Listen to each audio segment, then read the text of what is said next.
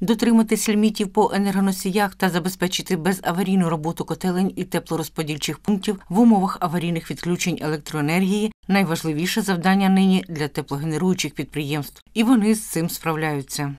Сегодня при э, работе предприятия в условиях э, осенне-зимнего периода самое страшное для э, теплоснабжающей организации – это внезапные остановки сетевых насосов, которые э, влекут за собой гидроудары и неконтролируемые повреждения э, тепловых сетей. На сегодняшний день уже э, трижды э, останавливалась котельная Махарино в Ингулецком районе. Все произошло э, по предварительной э, договоренности с руководителем Широковской РЭС. В течение 10 минут мы отключили котельную и никаких повреждений э, на сетях теплоснабжения не было.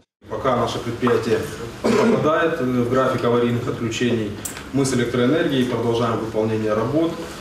И основной задачей на данный момент времени является вписаться в лимит по газу, который нам выделен. Ну, сейчас идем практически без пережога, совсем небольшой пережог. Сейчас потеплело, мы немножечко разгрузились, ну, продолжаем работать.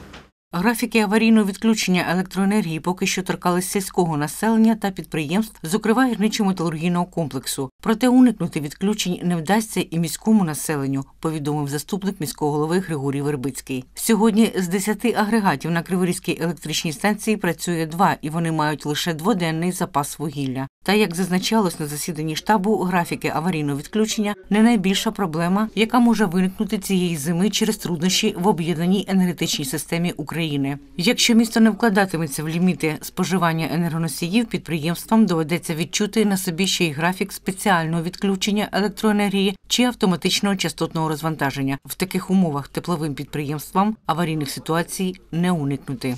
Если речь идет о специальном графике аварийных отключений, там никто никого ничего не предупреждает.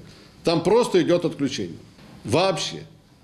И вот автоматическая частотная разгрузка – это тогда, когда даже диспетчер в этом деле не участвует. Щоб запобігти ускладненню ситуації і не залишити місто, а надто дитячі садки та лікарні без тепла, спеціалісти звертаються до населення з проханням не вмикати потужні побутові електроприлади у часи максимального навантаження на електромережі. Йдеться про пральні та посудомийні машини, праски, пилососи, бойлери. Найменше навантаження на електромережі з 23.00 по 7 годину ранку. Ще одну гостру проблему в місті порушив під час засідання штабу виконуючий обов'язки міського голови Сергій Маляренко. Йдеться про необхідність відновлення ізоляції наземних теплотрас. Мова йде про десятки кілометрів голих труб, які гріють повітря в період урізаних для міста лімітів та підвищених тарифів. Мне подготовили и показали, какое количество голых труб идет по свежему воздуху.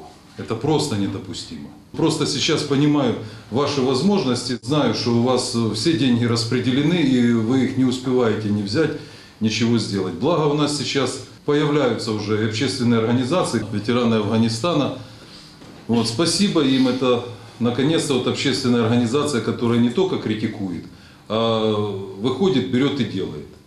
Они сами э, нашли средства, купили это, изоляционный материал, этот крутили. Сергій Маляренко висловив підтримку таким діям активістів громадської організації ветеранів Афганістану. Мы сейчас видим разные движения активистов, да?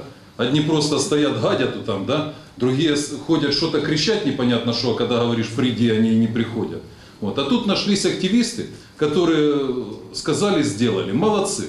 Спасибо им за это. Я за то, чтобы такие движения только развивались.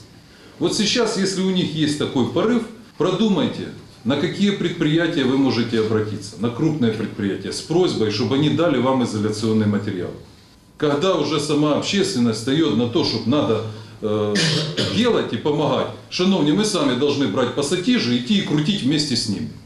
На засіданні міського штабу йшлося про те, що в зимових умовах управителі мають пильніше контролювати стан тротуарів. До лікарень міста за тиждень звернулось близько 70 людей із сильними забиттями через падіння на слизькому. Було звернення й до водіїв неухильно виконувати правила дорожнього руху за будь-яких погодних умов.